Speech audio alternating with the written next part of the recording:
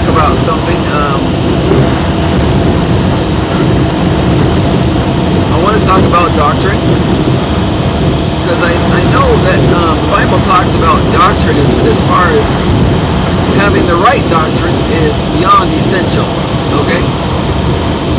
Now I know this is going to be a little bit crude because I just don't know a lot, uh, but I do know a lot enough to be dangerous, and so I'm going to go ahead and try to touch the danger zone about what I do know is true. Okay?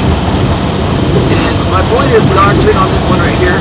Why? Because um, there's a lot of different points that are like um, to the doctrines that people don't agree with, and they would consider each other to be heretics because they have they look at the they look at the doctrines differently. They look at the doctrines that they do agree on in a different way, in a different light, because the scripture they both use the scripture to find those conclusions, but they just don't see the the leaves of the doctrine the same. Okay. So I'm going to take a stab at this, and I'm just going to say that the doctrine the Bible says, it says if you don't have the real doctrine, it's a matter of heaven and hell. Okay? But it doesn't talk about perspectives of the doctrine.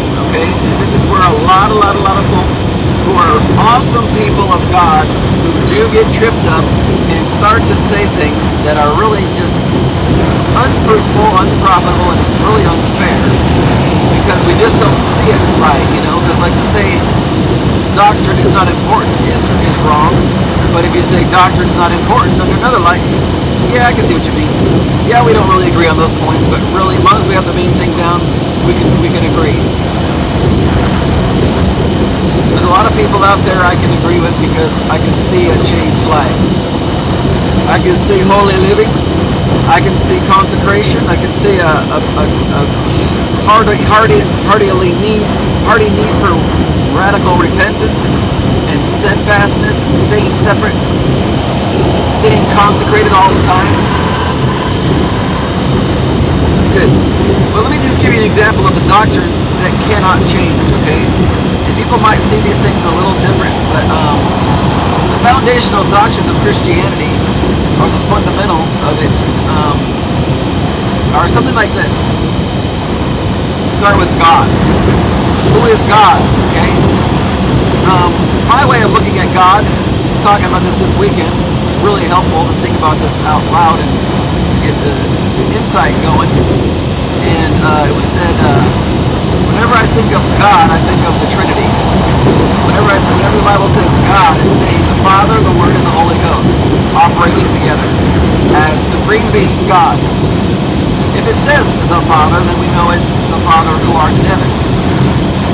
If it says the Son, Jesus, or the Word,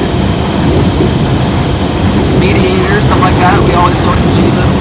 We know the different many names in the Bible of Jesus, the Son. You know what he was talking about. He's talking about the Spirit of God, the Spirit of truth, the Holy Ghost, Holy Spirit. We know we're talking about the Spirit of the living God. But whenever we just say God, we're talking about the, the, the three, the three combined, moving together. All had a part in all the biggest points of just about everything biblical. They always seem to move together, even when it's talking about Jesus. It's like, think about this just under this light so you can kind of understand what I'm saying. The Bible says in Colossians that in Him, in Jesus, dwelt the fullness of the uh, Godhead bodily.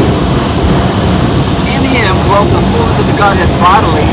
And um, what does that mean? Part of what that means, I don't have total light on this, but part of what that means is the fact that it, Jesus says, I am in the Father and the Father is in me. They are very, very close and in touch and definitely in each other. They're both connected. Okay? They're they're different but the same in some way. They're connected. They're they're different but they're connected. Okay? Now the Holy Spirit, the Bible says that Jesus had the Holy Ghost without measure. So in that you can see the Father who he's in.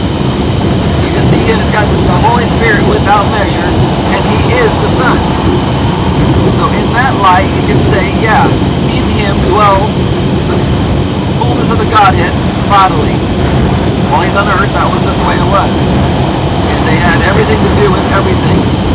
The Father, the Word, and the Holy Ghost had everything to do with resurrection, had everything to do with the creation, had everything to do with the incarnation of Jesus.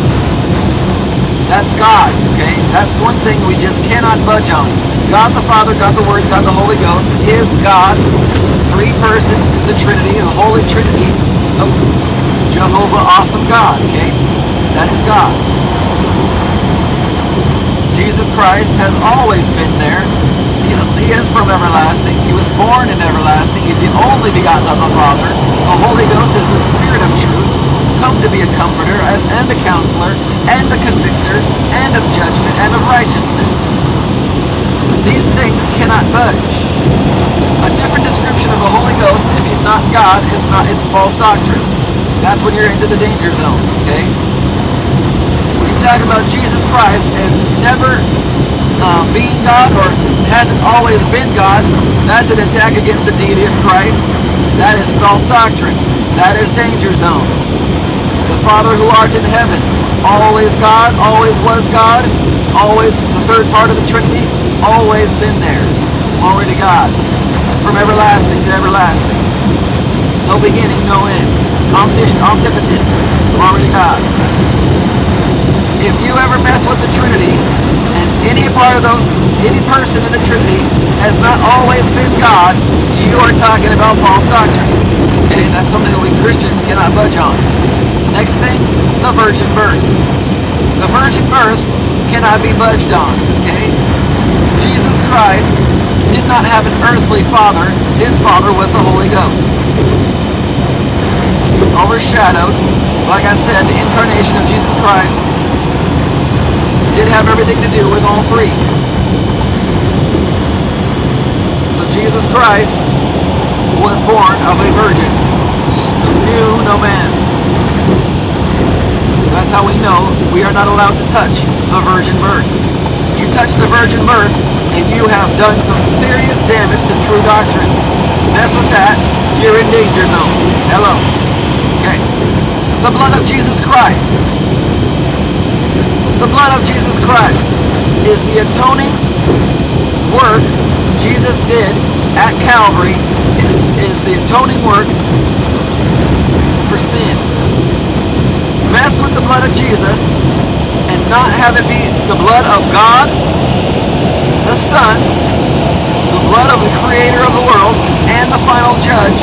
If you touch that blood, you're in false doctrine. You're in danger zone on the wrong path. People who are born again of the Spirit should know these things. People who want to study true doctrine, some of the things we cannot budge on. So we got what? We've got the uh, the Holy Trinity, God who is God.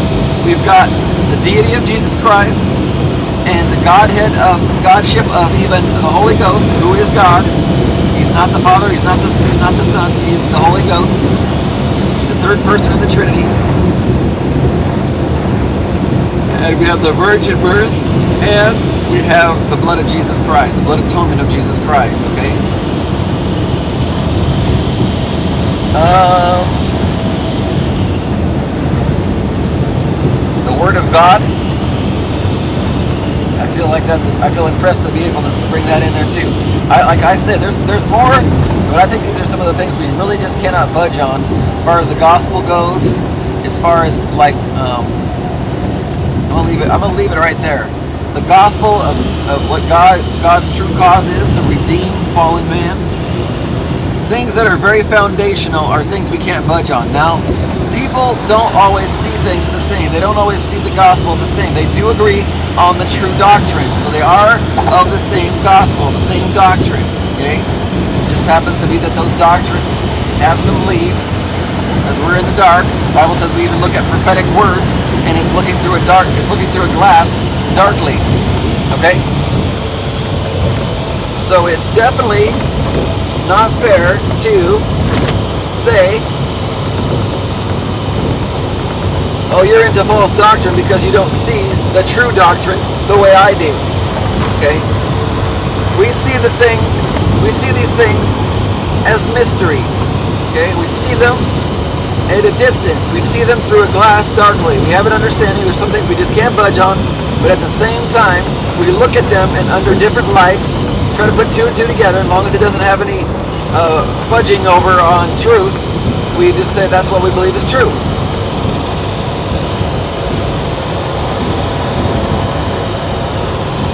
Yes, it's true.